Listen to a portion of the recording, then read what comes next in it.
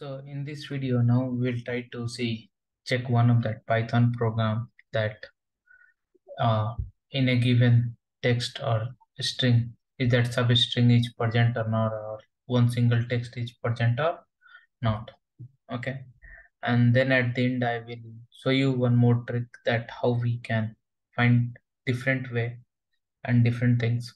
So now I will show you directly I will move to Jupyter notebook. So now here, suppose if I define that, okay, message text as Python is.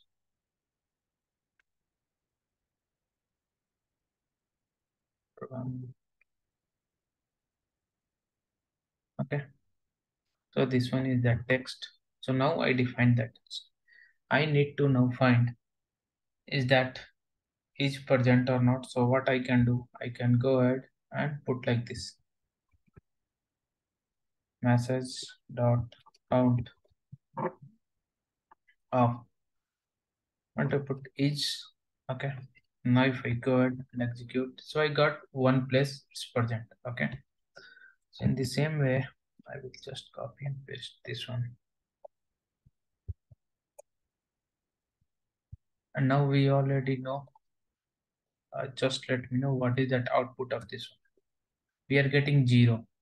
But but if I go ahead and execute like this okay. We we are getting two. So as we know that python is case sensitive so since we're trying to search that capital p it's giving us zero. But when we're trying to search a small p it's giving us two times Hmm, p p each percent. Okay so now if i go ahead and what i can do i can create one new message. Or if i wanted to count after some specific position so now what i can do?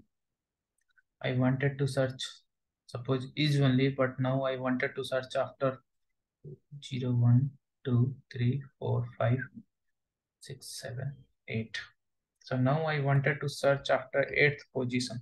Okay. I'll go ahead and put that eight.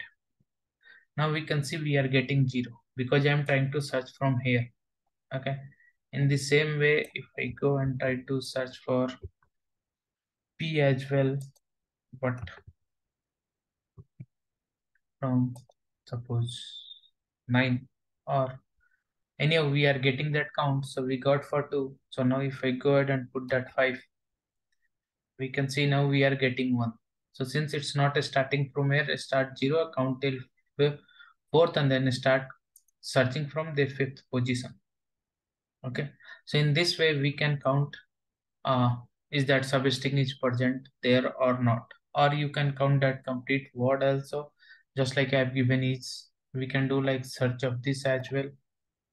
So if I paste it, okay, and then I will paste these things. Mm.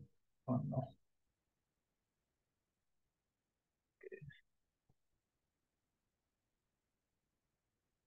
Okay, so now I will go to here. I will replace this. Okay. So now we got that one count. Okay. So now one question I will give you here. Suppose now I will try here. Okay. So now I will give here uh, one code that called A, B, C. Okay. D, A, B, C, D. Okay. And A, B, C, D. Again, I will put P, C, D. Okay. But now I just, I will explain you what I wanted to check it out here.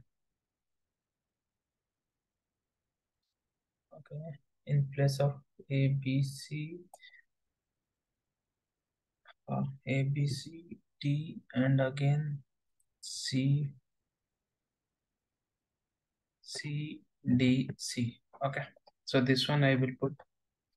So we have this one and now I wanted to do metables dot count of I wanted C, D, C. Okay.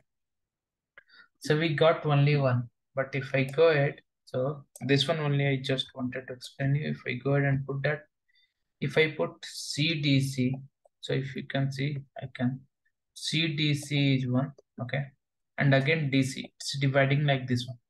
But if I go that word formation, okay, so one will be CDC. Again, from here, if I take CDC will form, right? So in place of one, I wanted to display two. So right now what is doing, it's searching for ones and then not counting that character. So now in place of that, I wanted to make that, I need that answer to be two. So now you can look into this. I will explain this one, how we can do that using regex. You can do it easily. So I will explain how we can get that count of two by creating that all those words formation, how many it can be formed including and excluding all those things. Okay. I hope you like this video. Thank you.